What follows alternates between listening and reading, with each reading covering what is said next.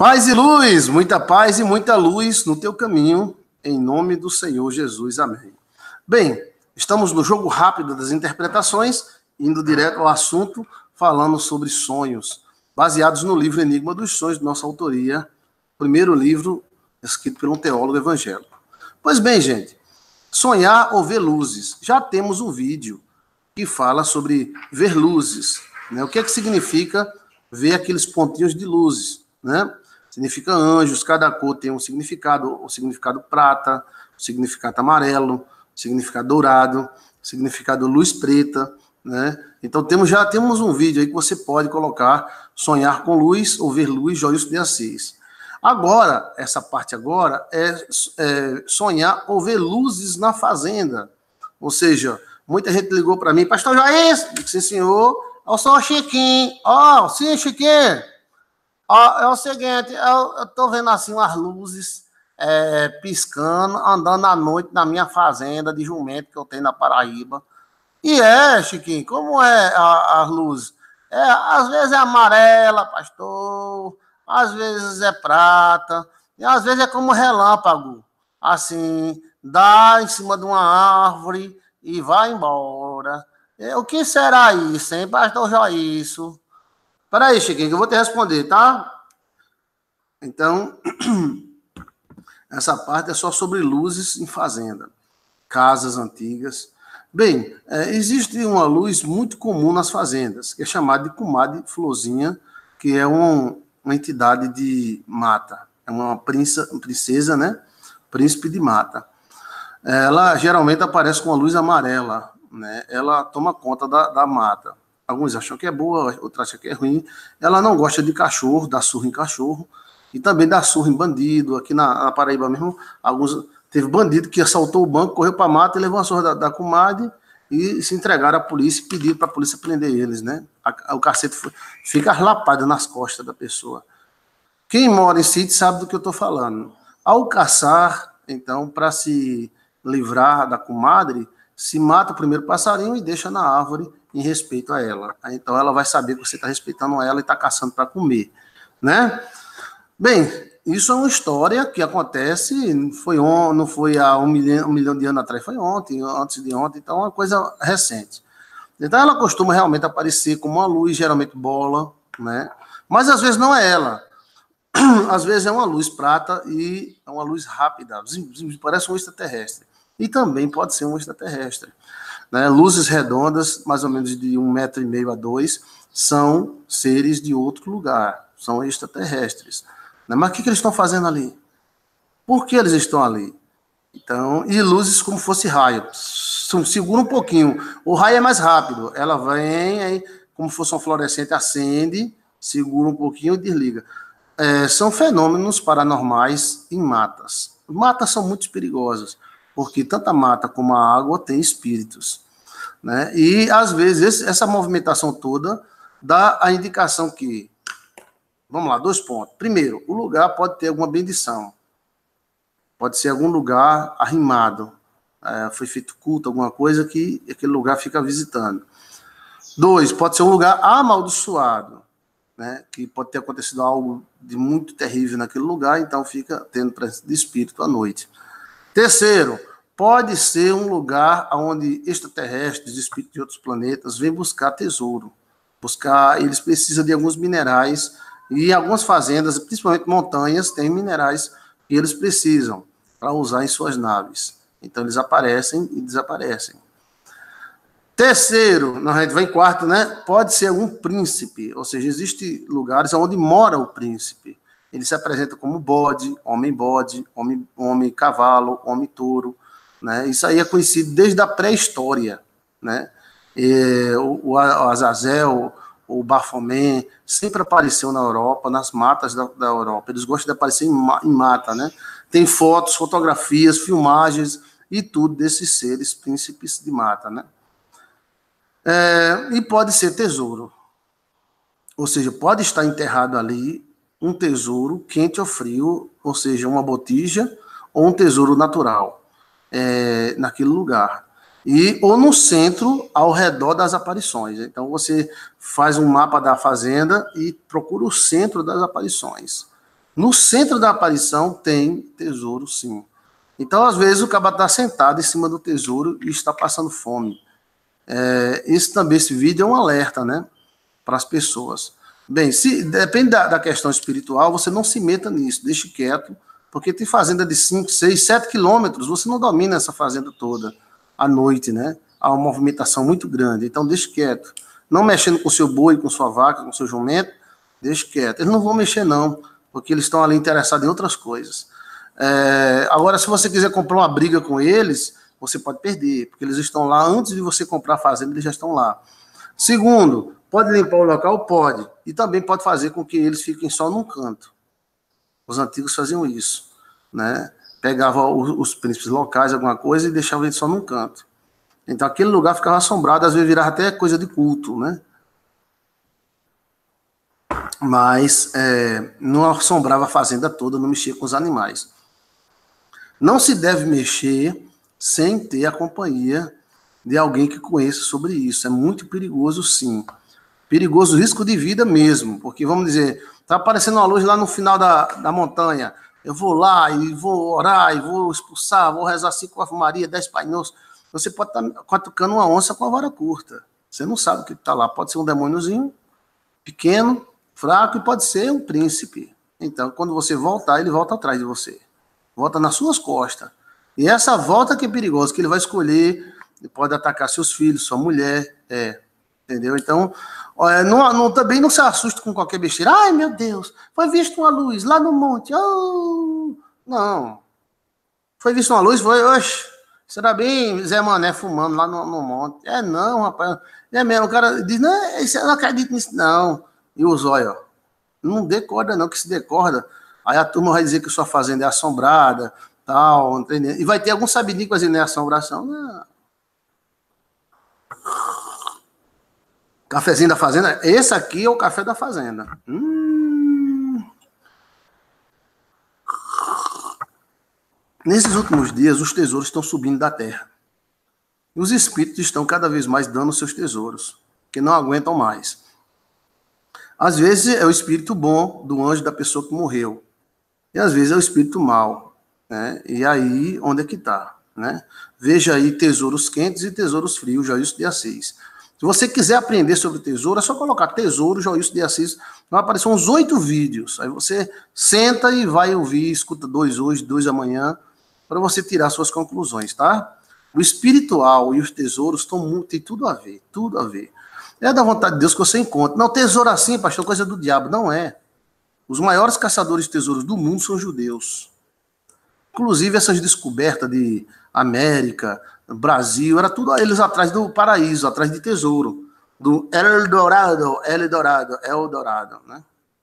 E felizmente ou felizmente eles encontraram, né?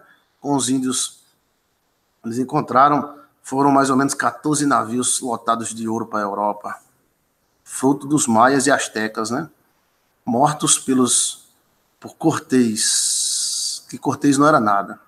Bem, não era nada de Cortês, né? Ela era bruto. Pois bem, então você pode estar tá tendo um aviso, essas luzes podem estar tá avisando que existe tesouro ali. Pode ser o tesouro, como eu falei, de uma tribo, de um antepassado que morou ali, ou um tesouro natural.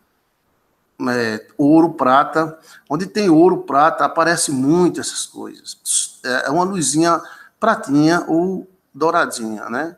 É como se fosse um relâmpago, só que o relâmpago é rápido e ela é lenta. É como se fosse um relâmpago em câmera lenta essa luz anda, essa luz... então tem todo um procedimento. Você pode ir lá, falar com a luz e ter uns orações, uns procedimentos, e ela vai deixar você pegar o tesouro e não vai afetar em nada você.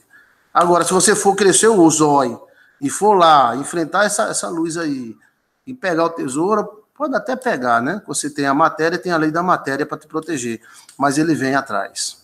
E quando ele vem atrás, ele começa a provocar assombração, loucura, esquizofrenia, doenças, é, e levar as pessoas para a morte, né?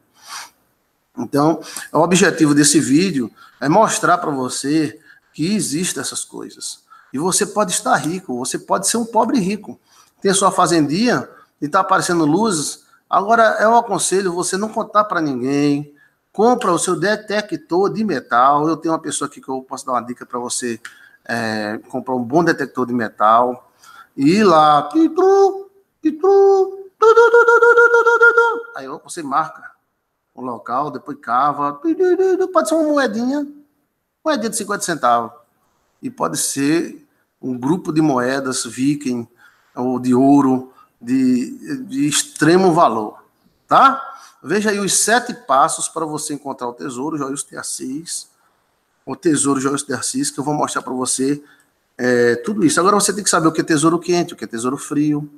Tem que saber quais são as técnicas de você tirar o tesouro e não ser afetado por ele, né? E tudo isso mais. Agora, essas luzes em fazenda, é tudo isso que eu falei, porém, pode ser o tesouro.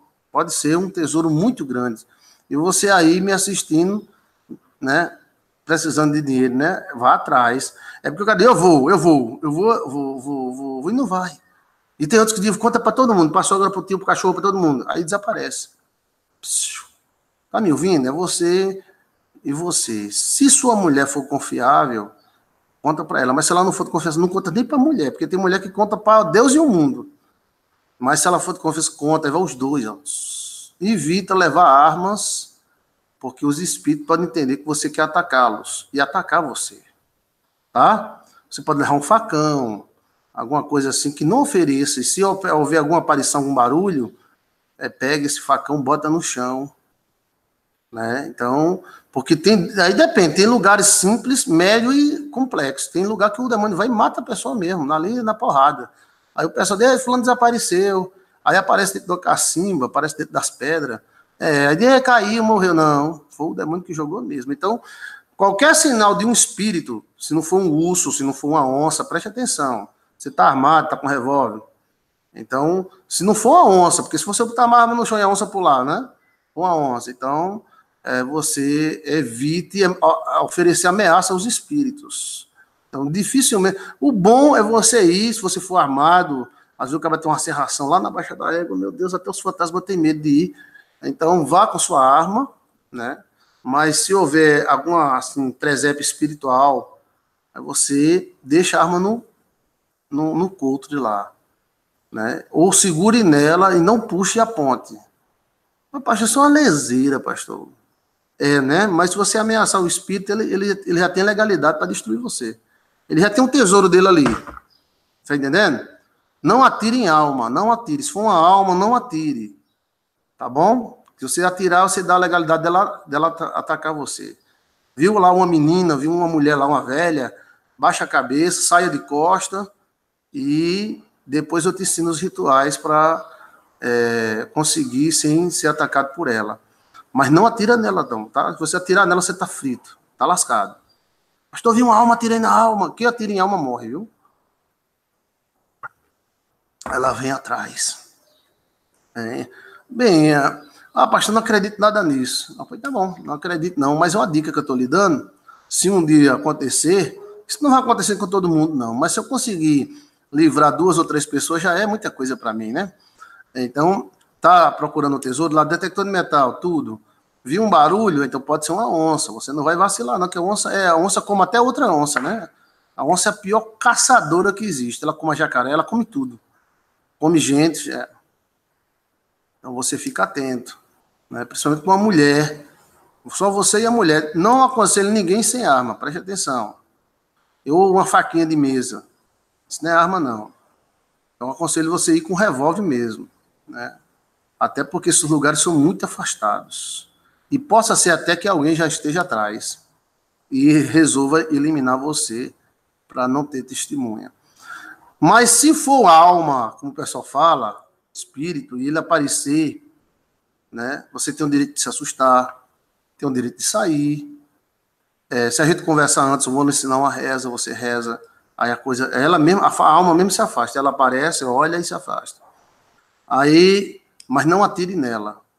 Tem gente que gosta de, se aparecer uma arma, dá um tiro, dê. Se você der, ele vai atrás de você. Ela pode ir para Baixa da Égua, pode ir para São Paulo, Rio de Janeiro, e acha você. Né? É raro os casos de uma pessoa que deu tiro em alma sobreviveu, muito raro. E sobrevive quando se faz muita reza, se procura muita, muita coisa, mas se não adoece e ela mata a pessoa à noite. Agora, se não aparece nada disso, vá lá, procura. Às vezes nem aparece, pai, não aparece. Geralmente os espíritos que estão nos tesouros, eles são assim, não são imediatistas. Na maioria dos casos, 80%, eles poderão atacar se você não fizer nada, né? É, assim, dentro de um ano, seis meses, um ano, dois anos, é que ele ataca, né? Então você vai lá, leva o seu detector de metal que você compra por mil reais. Vem aqui, Mariquinha. Ô, ô, ô, ô, Chiquinha, tava aqui. Cuidado com cobra. É que os espíritos usam muito cobra. Né? Cavou é uma moeda, homem. Pronto. Essa moedinha pode valer milhões. Pode não valer nada.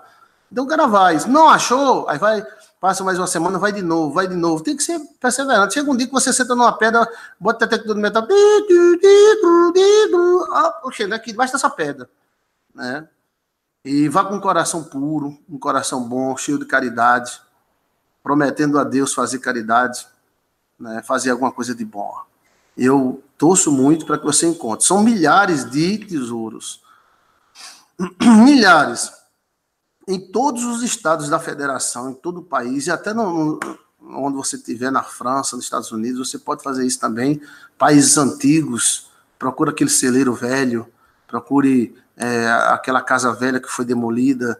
Ah, pastor, eu moro na França, mas tem aquela casa velha que pertenceu àquele, àquele senhor. Vai, vai, mulher, compra o de metal e vai. Quem sabe você não encontra moedas vikings, moedas francesas antigas? Sim, existem milhares ao encontrar, lembra do pastor, tá? Ajuda nós aqui. Ajuda a gente, eu te abençoe em nome de Jesus. Sobre as dicas para você não ser afetado pelo espírito do tesouro, eu, eu passo para você pessoalmente. Você liga para mim, meu zap.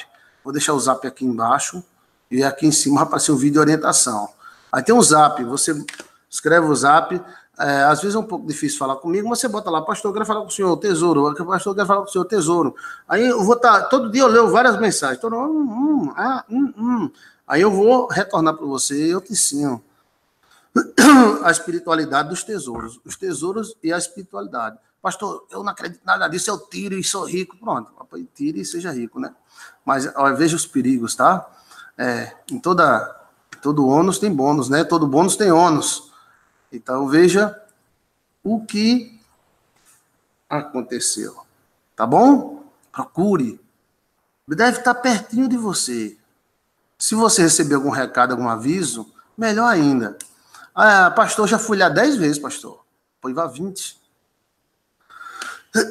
Vai 20 sempre disfarçado. Eu vou pescar. Eu vou pescar, estou pescando, aí não vem ninguém, você. Entendeu como é a coisa? Porque isso aí tá, é pra gente mesmo. É, o tesouro, ele não sente prazer em ficar enterrado na terra, ele fica incomodado. O tesouro é vivo.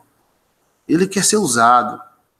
Né? Ele quer beneficiar. E tem tesouros que, se você encontrar na sua fazenda, vale mais do que você ganhar na loteria. Oh! Na loteria, é, você é chique. Vai lá para os Estados Unidos dos América, vai passear Tá? Veja aí no nosso canal os sete passos para encontrar seu tesouro. Paz e luz. Deus te abençoe. Deixe seu like e conta aí sua experiência. Se você já ouviu falar de tesouro, quem arrancou, o que foi que aconteceu. Muito obrigado. Paz e luz. Se inscreva no nosso